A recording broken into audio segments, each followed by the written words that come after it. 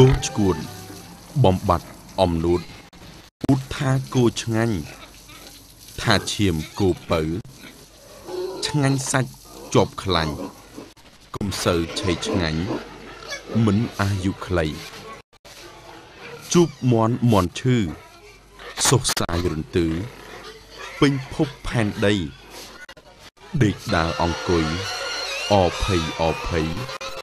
ជំងឺកើតថ្មី ភ័យចលាចលជួបជ្រូកផ្ដាសាយ